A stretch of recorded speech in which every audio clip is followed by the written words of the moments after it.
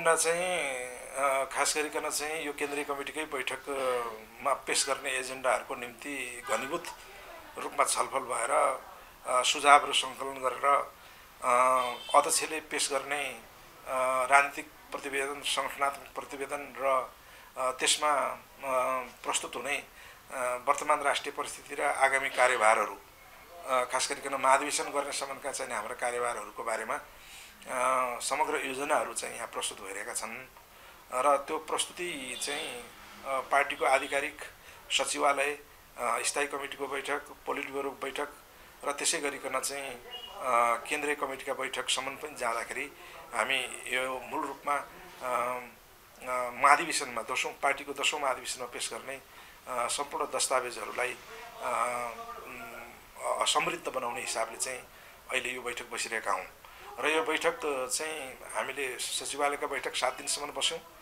सात दिनसम्म चलेको बैठकमा पन्ध्रजना नेताहरू उपस्थित हुनुहुन्थ्यो र अहिले स्थायी कमिटीका बैठक चलेन जा रहँदाखेरि उनान्चासजना कम कमरेडहरू अथवा नेताहरू चाहिँ उपस्थित हुनुहुन्छ भनेर भनेपछि यो पन्ध्र सहितको उनान्चा उनान्चासजना नेताहरूले पोलिट ब्युरोको बैठकमा बोल्नुहुन्न।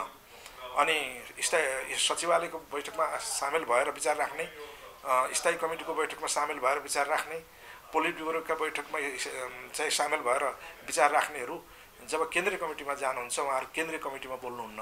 यसो गर्दाखेरि चाहिँ केन्द्रीय कमिटीमा बाँकी रहेका सदस्यहरूले चाहिँ प्रचुर मात्रामा समय पाउनुहुन्छ र आफ्ना कुराहरू राख्नुहुन्छ भन्ने हिसाबले पनि यो बैठक लामो लामो गरिकन जस्तो उदाहरणको लागि सचिवालयकै बैठक सात दिनसम्म हामीले चम्पादीपमा गऱ्यौँ। स्थायी कमिटीको बैठक अहिले केन्द्रीय कार्यालयमा हामी दुई दिनसम्म गर्दैछौँ। अब यस पछाडि हामी पोलिट ब्युरोको बैठक चाहिँ आयोजना गर्छौँ। पोलिट ब्युरोको बैठक पनि दुई दिन आयोजना हुन्छ र त्यस्तै गरिकन अनि केन्द्रीय कमिटीको बैठक पनि दुई दिन आयोजना हुन्छ। यसो गरेर हामी चाहिँ सम्भवतः माघको दोस्रो हप्तातिर चाहिँ पार्टीको महाधिवेशन गर्छौँ होला र त्यो पार्टीको महाधिवेशन गर्नुभन्दा अगाडि हामी कमसेकम पनि एक लाख सदस्य बनाउने टार्गेट हामीले पुरा गर्नुपर्ने हुन्छ।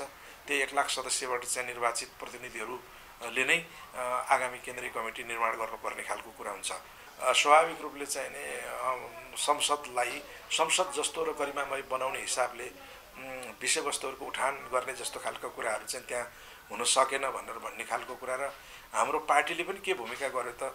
हाम्रो पार्टीको भूमिका पनि कति प्रभावकारी हुन सक्यो त भन्ने सवालमा पनि कुराहरू उठेका छन्। त्यसैले संसदको गतिरोध यो जुन विषयमा चाहिँ नै उत्पन्न भएर जुन विषयलाई चाहिँ न्यु बनाएर चाहिँ गतिरोध उत्पन्न गरिएको छ होइन?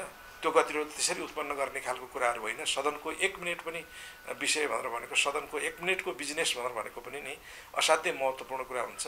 अब त्यो चाहिँ के भने प्रतिपक्षले जे गरिरहेको छ त्यो चाहिँ अलिकति बेठिक गरिरहेको छ भन्ने तहबाट पनि त्यो कोडबाट पनि कुरा उठेका छन्।